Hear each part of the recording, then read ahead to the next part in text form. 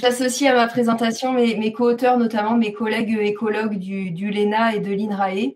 Et donc, je vais vous parler d'un data paper qu'on a publié en 2021 dans la revue euh, Earth System Science Data. Donc, ma présentation, elle va se passer en quatre temps. Je vais d'abord vous parler du contexte géographique et scientifique euh, de cette recherche. On, travaille, euh, mes collègues et moi, dans l'observatoire Homme-Milieu Vallée du Rhône. Ensuite, je vous présenterai le projet de cet observatoire dans lequel on a été amené à réfléchir à ce data paper. Ensuite, je détaillerai les étapes de création de l'article et je terminerai par quelques points de conclusion et de perspective. Donc, le, data paper que je vais vous présenter, il contient des données euh, qui couvrent l'ensemble du Rhône français, du lac Léman à la Méditerranée, soit 535 km de long. C'est le territoire d'étude de l'OHM Vallée du Rhône, qui a été créé en 2010 par l'INE CNRS et qui fait partie du LabEx Dream, qui regroupe euh, une 13 OHM en France et à l'étranger. Et au niveau du Rhône, ça correspond au site atelier Corridor Rhône de la zone atelier bassin du Rhône. Euh, cet OHM, comme tous les autres OHM du LABEX, ça se définit comme un outil d'étude d'un socio-écosystème anthropisé, en l'occurrence ici la vallée du Rhône, qui est un système fluvial fortement euh, par des activités humaines depuis le milieu du 19e siècle et on s'intéresse à l'évolution contemporaine du fleuve et de ses sociétés riveraines. On travaille autour de six thématiques de recherche et je vous ai mis en rouge les deux thématiques dans lesquelles s'insère ce data paper, trajectoire géohistorique et rupture et nouveaux outils. Donc l'OHN, c'est une plateforme de recherche interdisciplinaire. Vous avez sur cette figure l'ensemble des projets qui ont été financés dans notre OHM depuis sa création, ainsi que des projets euh, au long cours euh, qui avait démarré avant, qui concerne aussi le fleuve Rhône. Et euh, donc, vous voyez que cet observatoire immobilise à la fois les sciences de la vie et de la terre en jaune-orange, les sciences sociales en vert et puis les approches modélisation data-vise. Mon projet archive, il se situe ici et on a euh, donc mobilisé à la fois de la data-vise, des compétences en géographie, en écologie et en hydrogéomorphologie. Donc, ce projet archive, on, a, euh, on a obtenu un financement dans l'OHM en 2017-2018 et il s'intitulait Collecte et visualisation de données historiques biophysiques sur le fleuve Rhône. Le point de départ, c'était que ces dix dernières années, il y a un volume important de cartes et d'atlas qui ont été euh, collectés euh, pour mieux comprendre la trajectoire géomorphologique du fleuve et notamment la réponse du fleuve à cette longue histoire d'aménagement et donc, pour cela, on s'est basé notamment sur euh, l'Atlas des ponts et chaussées de 1860, qui est un peu une date référence de l'état du fleuve avant les endiguements systématiques euh, qui ont démarré en 1880, puis la construction de barrages au XXe siècle, puis la construction d'installations nucléaires. Donc, ça fait que ces processus euh, géomorphologiques post-1860, ils sont relativement bien compris. En revanche, la dynamique du fleuve naturel, on va dire, du fleuve avant aménagement, elle a été peu investiguée, faute de sources cartographiques et faute aussi de sources topographiques qui renseignent sur la géométrie du fleuve avant euh, le XXe siècle. cette trajectoire géomorphologique, elle est importante pour euh, mieux comprendre aussi la trajectoire biologique, notamment pour les écologues qui travaillent sur les poissons et euh, l'étude de l'évolution des peuplements piscicoles depuis la révolution industrielle se heurte à l'absence de données anciennes euh, quantitatives sur la structure des peuplements par rapport à l'abondance aux espèces qu'on retrouve et à leurs aires de répartition. On dispose de quelques données cartographiques au début du XXe siècle. Ce sont des cartes qui ont été levées à l'échelle départementale et qui renseignent sur les espèces qu'on rencontre sur différents tronçons des, cours d'eau, mais ce sont donc des, une information à gros traits au niveau départemental et on a quelques informations écrites. Donc, avec mes collègues écologues et géographes, euh, on a voulu proposer ce projet dans l'OHM en se posant deux questions. Quelle est notre capacité à décrire l'évolution parallèle ou non de la structure physique du Rhône et de la structure des peuplements piscicoles depuis le début du XIXe siècle et quels enseignements tirer de cette étude historique pour la gestion actuelle du fleuve et notamment pour la restauration écologique de ce système qui est fortement euh, dégradé par des activités humaines. Donc vous voyez que ces, questions, ça, sous-entend une, une, étude géohistorique de grande envergure, mais vu que l'OHM bah, proposait des projets de seulement un an, un an et demi, on a décidé de se concentrer sur la première phase obligatoire de tout projet, qui est la collecte des données. Donc, notre projet, il a eu plusieurs temps forts que je ne vais pas décrire, euh, détaillé. C'est juste pour vous montrer que c'est à la fin du projet, en fait, c'est à partir de 2019 qu'on a commencé à réfléchir pour valoriser les données acquises sous la forme d'un data paper et pour une, euh, une rédaction et une publication en 2021. Donc, je vous présente rapidement bah, le matériel qui est présent dans ce data paper. Cette base de données, elle est issue de la collecte euh, des recherches dans 14 services d'archives nationaux, départementaux et institutionnels. En particulier, on a passé du temps aux archives nationales de Pierrefitte-sur-Seine et aux archives départementales du Rhône à Lyon. On a compilé 350 documents, donc des cartes, des profils en long et en travers ou des informations topographiques euh, rapportées directement sur les cartes. Vous en avez un exemple ici. Et c'est une base de données qui couvre le XVIIe siècle jusqu'au milieu du XXe siècle. Cette base de données, elle fait près de 13 gigas. Elle est composée en nombreux dossiers, sous-dossiers qui contiennent bah, les photographies des documents qu'on a pris en salle d'archives, euh, photographies manuelles sur table ou sur tableau aimanté. On a aussi commandé euh, des scans haute définition pour les pièces les plus intéressantes où certains scans nous ont été fournis euh, gratuitement parce que ce document était déjà disponible. À cette base de données est joint un tableau euh, synoptique qui renseigne les propriétés de chaque document. Donc euh, le, service d'archives, la cote, le titre, et on a aussi la localisation de ce document le long du Rhône. On a utilisé pour cela les points kilométriques qui jalonnent le fleuve du Léman à la Méditerranée et euh, qui permet du coup euh, d'aller sur un secteur euh, d'intérêt pour l'utilisateur et de voir les ressources qui seraient disponibles sur ce secteur. Cette interrogation spatiale, on peut la faire sous SIG. on a créé un, fichier SIG qui est tout simple. Hein. c'est de type polyligne. c'est l'axe médian du chenal du Rhône. On a superposé sur cet axe toutes nos ressources. Et par exemple, ici, l'utilisateur qui s'intéresserait à ce secteur du Haut-Rhône, là, à la frontière entre l'Ain et la Savoie, il a simplement à dessiner un rectangle de sélection dans le SIG et il voit apparaître donc 24 ressources sur l'ensemble de la base de données disponible sur ce secteur.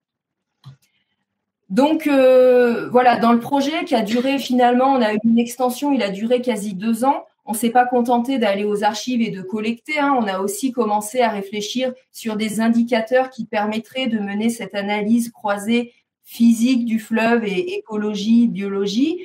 Mais là, je ne vais pas euh, parler de ça euh, aujourd'hui. Mais c'est surtout qu'à la fin de notre projet, on s'est dit bon bah et si on faisait euh, un data paper avec ce matériel? Donc pourquoi cette idée? Parce que bah, les data papers, on en entendait beaucoup parler en 2019 dans mes réseaux de recherche, dans le réseau des zones ateliers, dans le réseau des observatoires en milieu. C'était pour moi une nouvelle activité que j'avais envie de tester et qui était bien en phase avec mes missions euh, d'administratrice de données, puisque euh, dans l'OHM Vallée du Rhône, en fait, je suis euh, l'ingénieure référente pour appuyer les chercheurs pour gérer les données produites et collectées. Donc, euh, je leur propose euh, un catalogue de métadonnées, un web SIG, une photothèque. Et donc, bah, j'avais envie de rajouter le data paper comme une nouvelle corde à mon arc et j'avais envie de le tester, euh, d'en avoir une expérience de terrain avant de pouvoir conseiller aux gens d'en faire.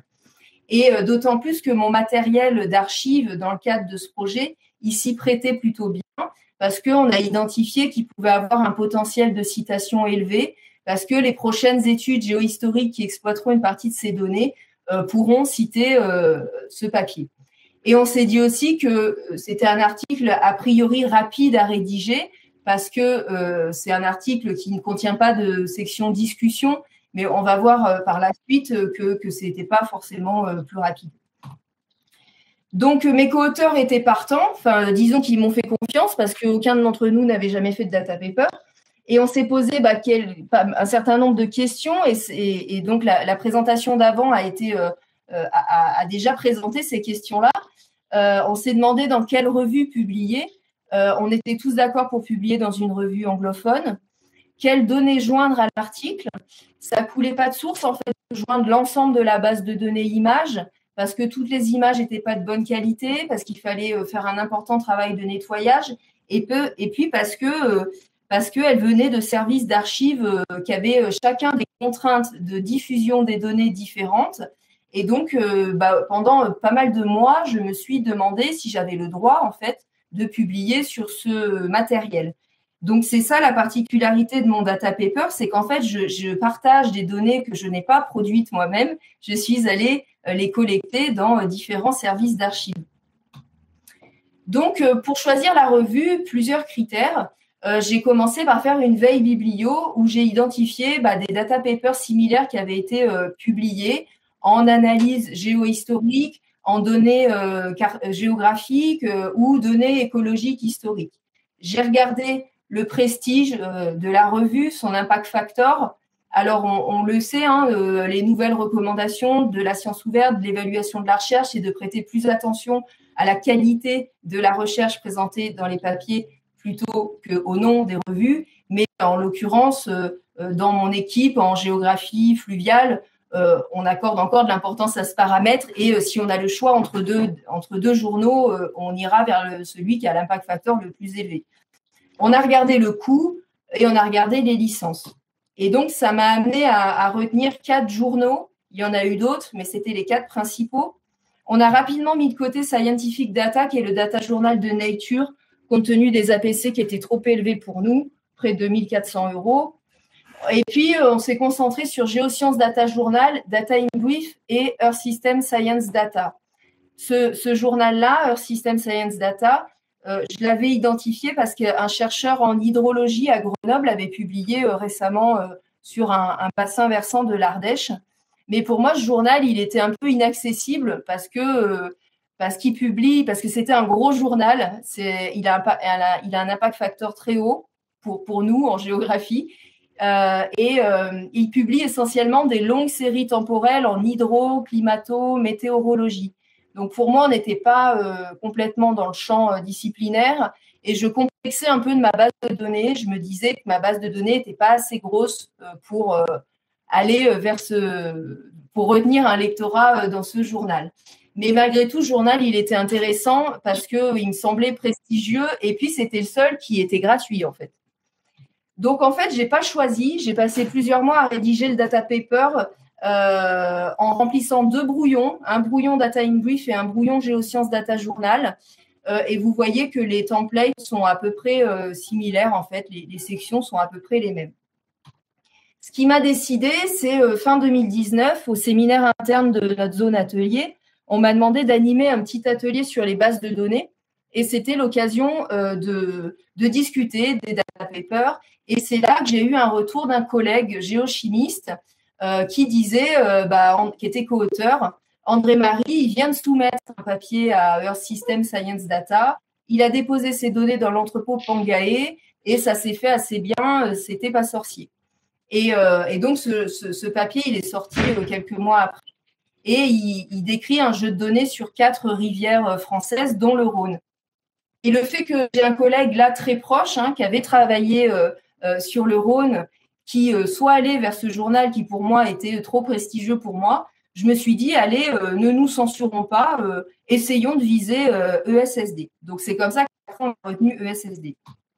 Ensuite, il a fallu choisir l'entrepôt de données. Et donc, dans ma veille biblio, bah, j'ai comme ça rencontré plusieurs cas de figure. Donc, soit déposé dans des entrepôts généralistes, disciplinaires, institutionnels, ou dans les entrepôts euh, associé aux éditeurs, par exemple Elsevier à son entrepôt SSRN. Comme le collègue géochimiste avait euh, publié dans Pan, je me suis euh, attardée sur cet entrepôt. Donc c'est un entrepôt en sciences de la terre et de l'environnement. C'est un entrepôt allemand qui est ancien, qui est certifié et qui assure une disponibilité à long terme des données. Et c'est un entrepôt qui m'a séduit parce que par son esthétisme et par l'ergonomie de la plateforme. Euh, on, a une entrée par, euh, champ disciplinaire, par communauté. Et euh, déjà, je le trouve très agréable à, naviguer cet entrepôt. Si vous allez dans Zenodo, moi personnellement, j'apprécie pas Zenodo. Je trouve que c'est un peu du tout venant quand on arrive. Ils se définissent d'ailleurs comme domaine agnostique, alors que euh, euh, met plus en avant les communautés. Ensuite, quand j'ai cherché par mots-clés, j'ai retrouvé les données de mon collègue sur le Rhône. J'ai aussi retrouvé bah, des géographes de Chambéry, j'ai vu qu'il pouvait y avoir une communauté euh, fluviatile qui pouvait grossir sur cet entrepôt. Il n'y avait pas encore beaucoup de chercheurs parce que c'est quand même assez émergent de déposer ces données dans des entrepôts. Mais euh, ça m'a semblé cohérent parce que je connaissais déjà des chercheurs euh, dans cet entrepôt. Et puis le, le, dernier point fort et qui pour moi est le plus important, c'est que c'est un entrepôt qui est modéré et qui pratique de la curation de données. Et pareil, c'est pas le cas de tous les entrepôts. Et pour moi, ça garantit euh, la qualité des données euh, qu'on joint à l'article. Euh, il a fallu choisir la licence. Et le, souci dans mon cas, c'est que la licence ICIBA qui est préconisée par la science ouverte, elle n'est pas compatible avec les contraintes de diffusion de l'ensemble de ma base de données. Alors, j'y connaissais pas grand-chose en licence, donc j'ai tâtonné. J'ai en fait j'ai envoyé beaucoup de messages en préparant cette présentation. Je, je me suis remémoré tous les contacts que j'avais pris auprès des éditeurs, des entrepôts, d'ingénieurs référents en France sur certains entrepôts. Et on m'a orienté vers l'INSHS et vers Lionel Morel, qui est directeur adjoint scientifique et qui est, qui est juriste et qui est un peu l'expert euh, en droit sur ces questions. Et j'ai eu la chance d'avoir un, un, retour euh, hyper rapide de Lionel Morel, euh, où je vous en ai mis une partie là. Alors, RGPD, hein, je ne sais pas si ça se fait bien de mettre des mails comme ça en, en présentation, mais en tout cas, j'ai enlevé son mail son adresse. Et donc déjà, il m'a éclairé sur le fait qu'on pouvait tout à fait choisir une licence différente pour le data paper et pour les données. Ça, c'est une confusion que j'avais faite dès le départ. Euh, euh, en fait, euh, je pensais que vu que ma base de données était était restreinte, je ne pouvais pas aller publier dans des journaux qui apposent du CC BY. Et en fait, ce sont deux objets euh, juridiquement différents, donc on peut tout à fait mettre du CC BY à un data paper et une licence plus restrictive au jeu de données. Euh, et ensuite, bah, il, confirmait euh, voilà la difficulté de mon de mon de ma base de données, c'est que les établissements que je cite, la BNF, les Archives nationales, ont des conditions d'utilisation de leurs données qui correspondent pas tout à fait à des licences Creative Commons. Les Archives nationales ont une politique d'open data par défaut mais elle ne correspond pas à une CC BY, idem pour les images de la BNF. Et donc, euh, euh, voilà, sa recommandation, c'était euh, quand même qu'on pourrait utiliser la licence CC BY NC comme une forme d'approximation raisonnable, peut-être en complétant par un lien quelque part dans les métadonnées qui renverrait vers la politique de réutilisation de chaque établissement. Donc, on va dire que j'ai eu l'aval de l'expert en droit sur cette question en France. Et donc, bah, j'ai suivi ses conseils et euh, j'ai contacté chaque service d'archives pour les informer du projet de data paper. Et j'ai choisi la licence ici by NC. Et en fonction des restrictions de certains services, j'ai exclu certaines données de la base de données. Ça ça, ça, en, ça en implique pas beaucoup finalement sur les 350. Et dans Pangae, j'ai un long paragraphe qui explique pourquoi j'ai choisi cette licence et qui donne les, euh, conditions de réutilisation de chaque service. Donc, 2020, euh, bah, c'était l'année de la soumission du papier. Euh, on a passé du temps sur la section Data Use and Application. Donc, c'est une section, comme ça a été présenté avant, c'est une section où on va décrire les usages actuels et futurs et les domaines d'application de la base de données. Et là, les co-auteurs ont beaucoup contribué. On a discuté la qualité, la précision de nos données et les usages en hydrogéomorphologie, en écologie historique et en hydrologie historique. Euh, donc, on a utilisé cette section un peu comme une section discussion, en fait. Et euh, donc, je précise que bah, voilà, les, thèmes qu'on a choisi de discuter, ils sont plutôt euh, sciences dures parce qu'on collait un data journal sciences dures. Mais de nombreux usages SHS de notre base de données sont possibles en géographie, en histoire environnementale ou, en sciences politiques parce qu'on peut extraire beaucoup d'informations euh, sur les usages des plaines alluviales de nos cartes. Et je cite ces trois domaines, géographie, histoire et Sciences Po, parce que ce sont trois chercheurs qui sont venus vers euh, moi euh, après que mon papier ait été publié. Donc voilà, c'est pour vous dire qu'on n'a pas publié dans un data journal en SHS, mais qu'on a une base de données qui intéresse à la fois les SHS et euh, les sciences dures. On a aussi travaillé la section Data Availability qui décrit donc où est localisé notre jeu de données. Et on en a profité pour valoriser nos outils de DataVis. On, a une photothèque dans laquelle on a publié un extrait des 350 documents d'archives et donc on l'a indiqué dans cette section. Et aussi, on a renvoyé vers notre géocatalogue de métadonnées on a publié une fiche de métadonnées en anglais et on en a profité dans le texte pour citer les catalogues interopérables du LABEX, les catalogues nationaux et européens.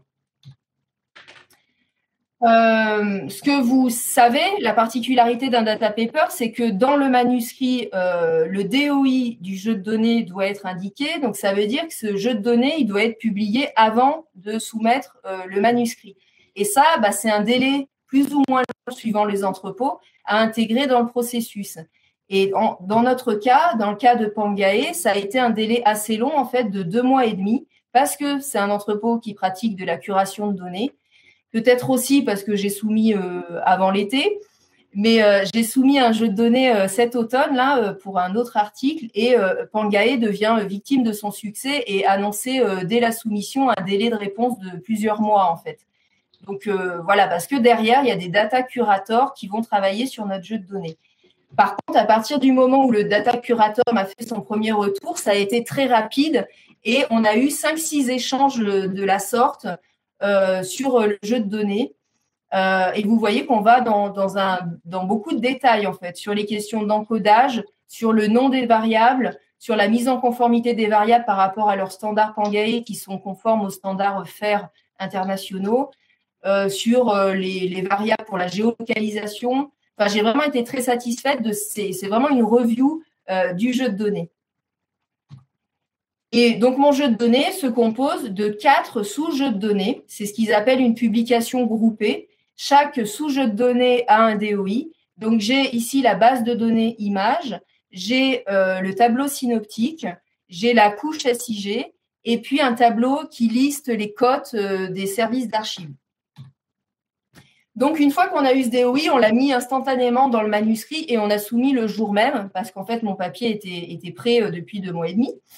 Et euh, donc là, on s'attendait à rentrer dans un processus de review classique qui allait prendre deux, trois mois. Sauf qu'on a eu encore une péripétie, c'est que euh, on n'avait pas de nouvelles de l'éditeur depuis deux mois et demi. Sur la plateforme, on voyait qu'on n'avait toujours pas de reviewer affecté en fait. Et on a eu euh, la mauvaise surprise d'avoir un message qui nous disait que le processus de désignation du topical editor était interrompu. Et la justification de la revue, c'était que bah, ils essayaient d'éviter ce cas de figure, mais des fois, euh, c'était pas possible dans le cas de manuscrits qui se situaient en marge ou en dehors du champ euh, éditorial. Donc là, on a eu un petit coup de stress. On s'est dit que bah, mes craintes du début se vérifiaient, qu'on n'était pas complètement dans le champ donc, je me suis euh, fendue d'un mail euh, pour essayer de défendre ma base de données, pour leur dire qu'on avait conscience qu'on n'était pas dans le cœur de leur sujet en hydroclimato, mais que j'avais néanmoins identifié des articles en données SIG euh, diachroniques dans leur, dans leur journal et que je pensais que notre base bah, méritait d'être d'être évaluée. Et puis je précisais aussi pour l'anecdote que je venais de démarrer mon congé maternité et que s'il fallait euh, choisir un autre journal, ça allait encore mettre du retard sur euh, trois à quatre mois, le temps que je revienne au travail. Donc, je ne sais pas ce qui a joué dans mon mail, mais en tout cas, deux jours après, notre article a été pris en main par le senior chief editor de, la revue lui-même. Et en fait, euh, je voulais le préciser là parce qu'on n'a pas forcément l'occasion de détailler tout ça dans les conférences classiques, on va dire. Mais visiblement, on l'a eu quand même un peu à l'affectif, ce senior chief editor, parce qu'il nous explique dans son message qu'il a vécu le long de ce qu'on appelle euh, le, Haut-Rhône à Genève et il se baladait souvent en vélo au bord du fleuve et il descendait à Lyon euh, en, longeant le Rhône euh, en train. Et il disait donc qu'il avait cofondé ESSD, il connaissait bien le type de contenu et qu'il considérait que notre base de données était potentiellement un très bon produit pour ce journal. Donc on, a pu, on a pu être soulagé et donc la, la review a démarré. La particularité de SSD, c'est qu'il pratique une révision interactive et publique, et ça, c'est assez rare. Euh, pendant huit semaines, il y a une discussion ouverte sur la plateforme. Tout le monde peut venir commenter le manuscrit, donc euh, les deux reviewers désignés, mais n'importe quel autre utilisateur qui est connecté. Les reviewers déposent leur rapport sur la plateforme, euh, ils sont publics, nos réponses sont publiques, ainsi que les différentes versions du manuscrit. Et euh, ce, format interactif et public, je le trouve super intéressant. En pratique, pour, euh, pour tout vous dire, en fait, on n'a eu que les deux rapports des deux reviewers. On n'a pas eu des commentaires d'autres utilisateurs. Et je, ça, ça s'explique assez facilement. Enfin, on sait tous que la review, c'est un travail qui demande du temps. On n'est pas rémunéré pour ça. Euh, alors déjà, on a des fois du mal à, faire les reviews qu'on nous demande. Alors, en plus, aller faire les reviews d'autres articles, ça paraît un peu compliqué. Je suis pas allée voir euh, sur la plateforme s'il y a beaucoup d'articles comme ça qui bénéficient d'une review euh, avec plein de commentaires. Ça serait intéressant d'aller voir en fait. Donc euh, voilà, pareil, on a des retours assez assez positifs sur cette review. Un des reviewers était visiblement expert en végétation et nous a suggéré de rajouter la végétation comme utilisation de notre base de données c'est vrai qu'elle était peu présente parce que euh, bah, mes co-auteurs travaillaient sur les poissons et on avait surtout parlé voilà de, paysages, de sédiments et de, de poissons et donc on a rajouté effectivement la végétation. Voilà euh, donc l'article qui est, qui est publié euh, en mai 2021. Donc en conclusion, je vous ai retracé deux ans de projet dans notre observatoire, plus deux ans de concrétisation du data paper. Donc on peut dire que c'était pas un article qui était rapide à rédiger et qu'il est d'ailleurs pas plus court, il fait, il fait 17 pages, euh, mais c'était une aventure réussie. Euh, on a vraiment tâtonné, euh, voilà, c'était très empirique, on s'y connaissait pas avant de démarrer. Et c'était réussi aussi parce que ça a convaincu mes co-auteurs. Ils n'étaient pas tous motivés au début pour se lancer là-dedans. J'avais un co-auteur qui voulait pas diffuser ses données, enfin qui craignait il voulait d'abord que je fasse un article de recherche classique et qu'après, je donne la base de données. Et une fois qu'on est allé au bout du processus, il a, euh, euh, il a confié être impressionné par le travail et convaincu que c'était cohérent de publier ce type de ressources. Il y a d'autres data papers qui ont été publiés sur le Rhône, euh, plutôt sédimentaux, géochimie, pas SHS, mais c'est un format qui intéresse les SHS. AEVS, depuis l'année dernière, euh, j'ai animé un cycle de formation sur la science ouverte avec ma collègue euh, Alexandra Duguet qui est en, visio. Et euh, voilà, sur comment on rédige des plans de gestion de données. Et il y a une séance sur les data papers. Et pour cela, bah, je suis allée demander à, à Marie-Annick Lebéchec de l'URFIS de Lyon d'animer cette session qui a, qui a pas mal plu. Et on va renouveler l'expérience dans les prochains mois. Et le dernier point, c'était bah, que au-delà des data papers, euh, les articles de recherche classiques, euh, il s'agirait de tendre vers un modèle éditorial plus vertueux, parce qu'en fait, ça va sûrement être discuté cet après-midi, mais quel, que soit le, journal, on est confronté au problème du coût de l'open access. En préparant cette présentation, j'ai eu la mauvaise surprise de bah, d'apprendre que la revue ESSD est devenue payante depuis le 1er janvier et demande 1400 euros par article. Donc même cette revue que, que je trouvais super euh, prestigieuse et gratuite, bah, même eux, ils se retrouvent à céder et maintenant à devenir payants. Ils proposent un soutien financier. Euh, voilà, on peut argumenter et obtenir des rabais visiblement, mais il y a vraiment peut-être un nouveau modèle éditorial à penser. En tout cas, euh, au niveau de Lyon, au niveau de mon réseau de recherche sur les sciences de l'eau, on, on réfléchit à, créer un journal interdisciplinaire sur les sciences de l'eau où il y aura peut-être une section data paper à l'intérieur. Et on est en contact avec des plateformes de recherche collaborative et, et gratuites, des plateformes de publication et notamment avec la plateforme SciPost. Voilà, je vous remercie pour votre attention.